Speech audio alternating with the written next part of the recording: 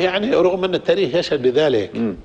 والواقع الآن يشهد بذلك ولكن أمتنا فيها نماذج غريبة عجيبة نعم. حتى الآن يعني بعض الناس الآن في عصرنا الحالي يطرحون فكرة التقسيم لكثير من الأقطار وعلى سبيل المثال بلاد بلادنا هذه نعم. جزء يريد آه، ليبيا من دون من دون منطقة شرقية وجزء يريد المنطقة الشرقية بمفصل عن المنطقة الغربية وجزء آخر يحلم بإنشاء دولة ما- مازيغية وهكذا.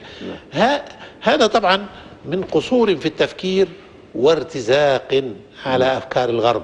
نعم. لأنه غالبية من يرفع هذه الشعارات هو إما عميل أو مرتزق على هذه الأفكار وهو في كلا الحالين الواقع واحد.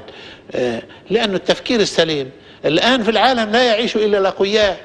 هم الأوروبيون الآن يرون أنهم آه، حظوظهم من من القوة في العالم ضعيفة ما لم يتوحدوا ورأوا بأم أعينهم بأم أعينهم أن أمريكا الدولة الكبيرة التي تعتبر قارة إمبراطورية إيه نعم. هم لم يجدوا لهم طريق معها فهي محتلة العالم ومستفيد من العالم فهم يريدوا ف- فبدأوا في التوحد فأنشأوا السوق الأوروبية المشتركة ثم أنشأوا الاتحاد الأوروبي ثم بدأوا في مؤسسة هذا الاتحاد فعملوا ما يسمى بالبنك الأوروبي وعملة واحدة ثم ب- بدأوا الآن يفكرون في بإيجاد قوة واحدة جيشا واحد والآن آه، بدأوا في جمرك واحد واتفاقية واحدة اللي بيسموها اتفاقية شنغل هذه اللي هي نعم. آه، ألغت تقريبا الحدود بين بينهم. هذا هذه الشعوب اللي هي مختلفة الأديان ومختلفة الأعراق ومختلفة اللغات تسعى جاهدة للتوحد والمسلمون إلى اليوم